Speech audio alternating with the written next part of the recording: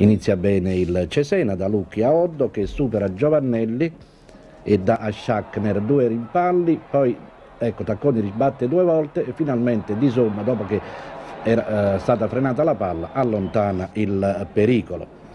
Al 24 il primo gol, punizione di Chimenti, irrompe Giuari che non perdona e che poi si abbandona alla solita circumvoluzione intorno alla bandierina. Eh, ancora un'azione avellinese, lancio dalle retrovie per Piga che scavalca Storgato, il quale gli si fa ancora addosso, ma a sventare il pericolo è Recchi che abbranca in due tempi. Ripresa, ci sono ecco, prima due interventi di testa di difensori romagnoli, poi Giovannelli manda verso Chimenti, sinistro volante, che Recchi respinge e May appoggia poi al proprio portiere.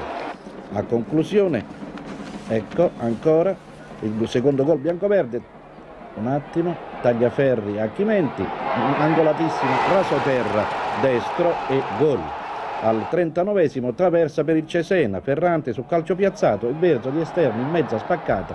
Manda prima contro la traversa e poi la palla va fuori